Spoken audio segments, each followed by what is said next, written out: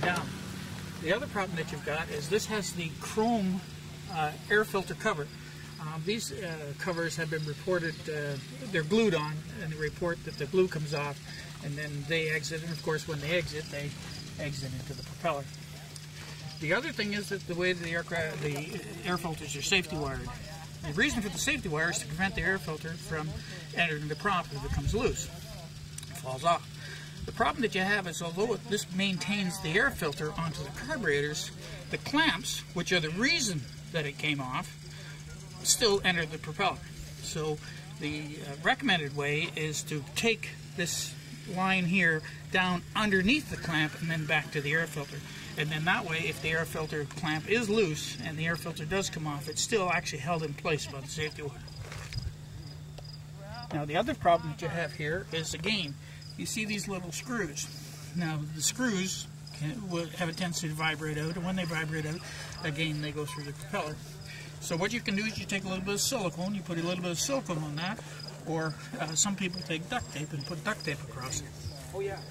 Now this is installation of one of the exhaust systems and you can see that this exhaust system has two clamps, a clamp here and a clamp here and this prevents the uh, springs from, uh, because it doesn't use springs, from entering the exhaust system when they break. Now one of the problems that you have in some installations is it's very difficult to check your uh, fan belt or fan belt tension. So what you can do is you take your cover off and you remove this tit here that uh, covers the belt. Now, with the engine turned off at any point in time, you can come in and uh, check your belt tension. That's on the 503, 377, and 447 Rotax engines. Now, this is an Ivo-Prop installation, a tube blade. The problem that you have here is they haven't installed the movement tape. And without uh, the movement tape, if the bolts were to come loose, you have no way of telling it, and uh, potential uh, results there that the uh, propeller could fail. So there should be a set of movement tape here, here, and on the same uh, side on the other side.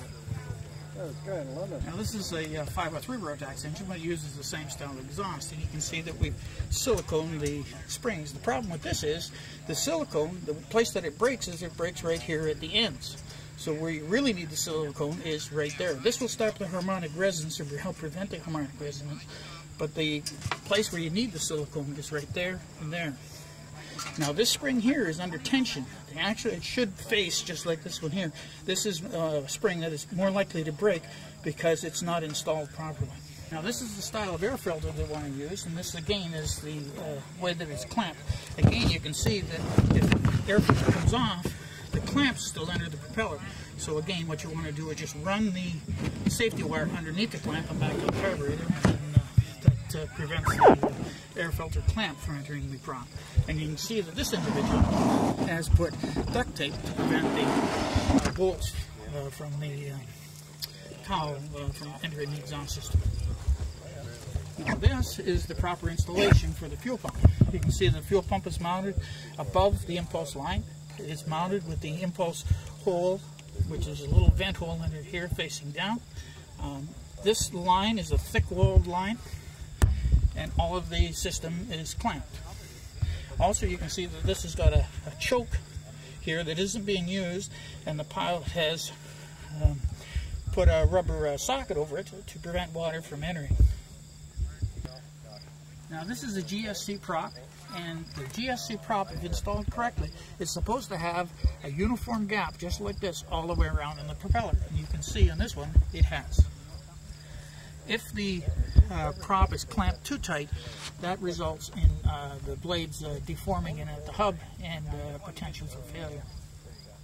The other things that this pilot has done, rather than use safety wire, is he's put the bolts all the way through and put nuts on the other uh, side lockers, which uh, help prevent the uh, bolts from coming loose and uh, the prop coming off. Now also, if you're using a GSC prop, in this hub here, you you have to install a set of dowels, and the dowels take the strain uh, from the, or the shock loading uh, uh, away from the uh, bolts that are used to retain the, or hold the propeller onto the gearbox. Now, this pilot has installed an electric fuel pump to assist the vacuum fuel pump and also in case of the vacuum uh, fuel pump failure. And also it helps um, when you have a, a, gas tank that's mounted below the engine and the engine's been turned off for a while, it helps bring fuel uh, up to the carburetors uh, rather than turn the engine over to bring the fuel to the carburetors. And this is a proper installation in that the uh, pilot has run two separate systems to the carburetors. That is, that he has his fuel pump, which is located up in here, dual fuel pump, uh, as his vacuum line.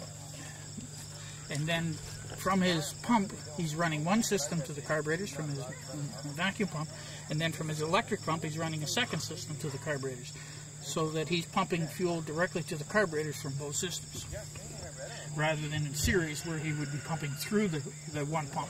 And if this diaphragm were to fail, then he's actually pumping fuel directly into the engine.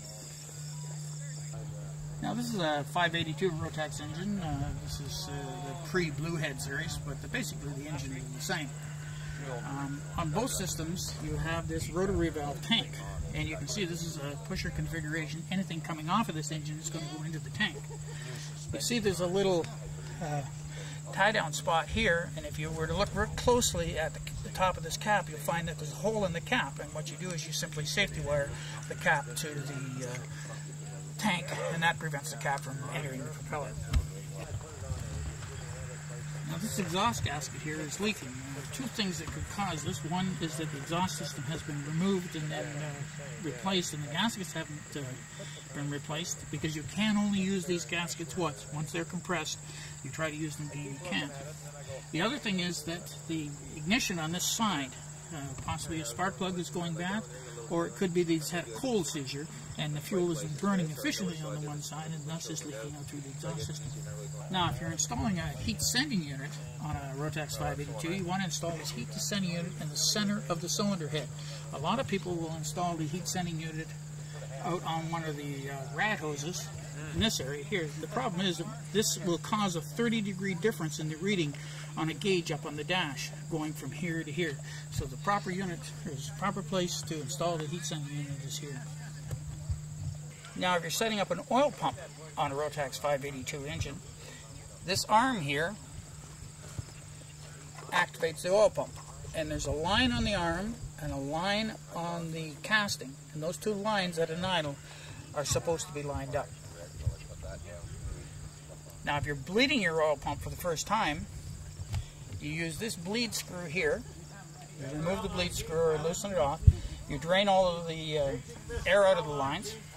Then you have to turn your engine over and you have to eliminate all of the uh, you have to eliminate all of the air in the lines. It's supposed to be solid oil going into the engine. Now here you can see the cap uh, on the rotary valve tank uh, and the way that it's safety wired. You see the little hole in the cap and how it comes back onto the tank. This is a Rotax 582 here in the Bluehead style. These are the spark plug caps. Now these caps should be very difficult to remove as you can see.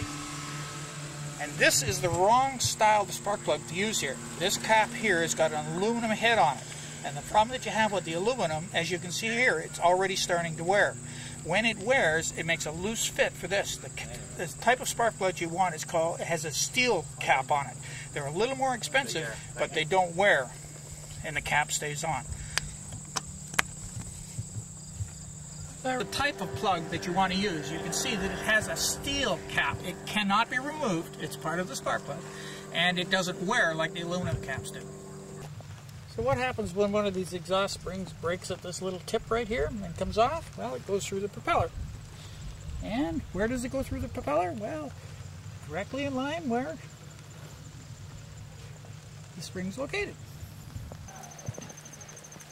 Now, if you look carefully at these carburetors, you'll see that they have a, a little bit of an incline going down. Now, when Rotax ships the engine, that's the way they're supposed to be when you put the engine and you invert it, like on a Challenger, you actually have to take these intake manifolds here and turn them around so that when the engine's upside down, you have the same angle. And again, you can see that this aircraft here has got a piece of safety wire. This one here is actually holding the chrome on. There's nothing actually holding the air filter. Now, if you've got one of the older Rotax engines, one of the problems that you're going to have is the positioning your probe. This probe is supposed to be located 100 millimeters from the face of the piston, which means you actually have to come in, measure from the face of the piston, and it's supposed to be located 100 millimeters from the face of the piston. This location here looks to be wrong. The other thing is that this probe sticks into the exhaust. It cannot touch the bottom of the pipe. You actually, in most cases, have to put little spacers underneath this so that it, this is sitting in the air uh, in the middle of the pipe. Now on the newer ones, there there's a already a space there uh, for the probe, and they use a different style of probe. Now, if you've got this type of probe, one of the things that you should do is these clamps have a tendency to break. So what you should do is put a little bit of silicone right across here, just so that if it does break, it's held together. So this is again a GSC prop, and here's where the gap is supposed to be, and there is no gap. This uh, is a problem. If you you have to go to the GSC website, and they give you the uh, the correct way to uh, torque the prop in the correct spacing. Now this is a Rotax B reduction drive. there is an update on this vent tube here. Uh, new vent caps uh, prevent uh, the uh, gear oil from being uh, sucked out of the drive. Now, with the tail on this airplane, with the whole airplane level, the level that is supposed to be in the gearbox, which is uh, generally 90 gear oil, or you can use synthetics, but the level when the gearbox is facing up like this, you take this plug out, you install oil into the hole until it comes out of this plug, and then you put the plug back in. So that's the level. Now, when the gearbox is reversed, this now becomes your level so that uh, if you were to reverse this, take the plug out of the bottom, put this, and so on and so forth. This is now the level of your uh, gearbox. Hey Robert, you hungry? Now it's very important that you have these, this is, doesn't have a rubber grommet on it, but the rubber grommets are very important because what happens is a day like today where it's raining, you get water will follow this cable right down into the bottom of the carburetor. So it's very important that you have the proper rubber grommets onto the top of the carburetor. If you're not using the primer lines, this is where the primer would normally hook up to. You have to make sure that this primer uh, hole is uh, plugged. And if you, even if you have these plugs, you have to be very careful that the ultraviolet light hasn't deteriorated in the plug. Uh, if that plug comes out, you will be running on a lean fuel mixture on the side that uh, it's deteriorated. Now here you can see the carburetors, you can see the engines in an inverted installation, and you can see that the intake sockets have not been changed around. The carburetors, as I say, are supposed to forward, uh, face in a little bit of a downward uh, angle. These ones here are actually facing in an upward angle. Uh, this is the uh, new style of uh, cap, and you can see there's little tabs here and you can safety wire it onto the top of the gearbox. This is the new style of probe that uh, Rotax now supplies with style of with the uh, and this is the new style probe and the position is right and you just have to make sure that you when you push this in here this is move this is able to move up and down but it doesn't touch the other side of the uh, uh exhaust manifold. Now, if you're flying on a uh, C or an E reduction drive, this is an E reduction drive here, and you notice that you have 90 gear oil in this area right here, it means that you have a seal going uh, in the uh, gearbox and it should be replaced. Now this is an E gearbox and again if you were filling it up you would remove your top cap, you would remove this screw here, you would put fluid in the top until the oil just starts to come out of this line here and that gives you the, uh, the correct level for the gearbox with the airplane uh, uh, sitting in a level position. Now, this is the type of spark plug cap and what you want to do is you see how this cap here moves up and down? It's supposed to be very very snug. It's supposed to be like this one here. See I can't move it at all. Very hard to come off. But these ones here, see? But this one here, like I say, it moves up and down freely and if you pop it off you see the arcing. See this cap here has the aluminum top on it rather than the steel top, and you can see the arcing that is developing in the spark plug. Flying on an engine that's out in the open like this, the problem that you have is you have to remember this engine is getting 65, 70 miles an hour of air going across it. Anything in a wire like this, or a hose, or anything like that, will be moving because the air coming across the engine is doing this to it. And over a period of time, what's going to happen is, for example, this rubber tube, well, it's going back and forth and it's going to break right at the, at the base. Or if you've got a wire here, the wire is going to be going back and forth like this, and it's going to uh, uh, separate from the, uh, for example, this is a ground. You would no longer have a ground if that wire were to uh, break. Now this is a Volkswagen uh, Scirocco uh, radiator. It's a radiator that's used uh, quite extensively in the industry, and one of the problems is it, it, does a real good job. In fact, it does in some cases too much cooling. So this gentleman here has put tape around the bottom. Now he is also has a little unit right here that's connected to a uh, thing at the bottom here, and he's got a cable at the front, and he can turn this, and as he turns it, it blocks off more air into the radiator. Now, another way of doing it is to put a valve in here, ball check valve, and then you just open and close the valve using your uh, uh, heat gauge to tell you what temperature you want to run at. So, for example, if I was running at 140 degrees, I would close it off a little bit, and that will bring my temperature up. And if I turn a heater on, for example, I've got a heater in the system, then that allows me to control the temperature by putting a little check valve in here with an, arm and running a cable uh, like this off of it. Now you can see that we've got a battery mounted up in the nose of this airplane. Uh, it could be for a weight and balance problem. It could be where the manufacturer wants it to be. That's not the problem that we have here. What we're using is we're using a battery that has acid in it, hydrochloric acid.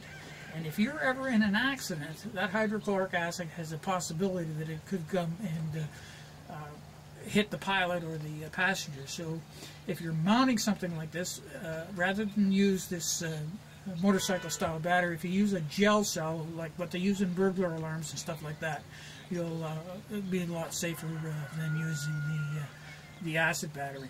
And also you have to remember that the, the farther the battery is up in the front of the airplane, farther from the engine, the less uh, voltage and amperage you're going to be able to uh, put to your electric start. So you generally want to have that battery as close as you can to the uh, engine itself. One of the other problems is that if you did have an accident, that cable coming from there all the way back here is live.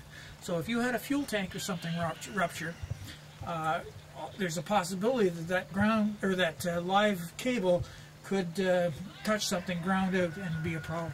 So you really want to get the, the battery as close to the engine, close to the starter as possible. Uh, mount it so that it is, in, say, in a plastic container of some sort, like a uh, protect any of the power ends. Uh, anything that's got a positive end on it, uh, either covered in silicone or covered in plastic or uh, rubber of some sort so that uh, it can't ground out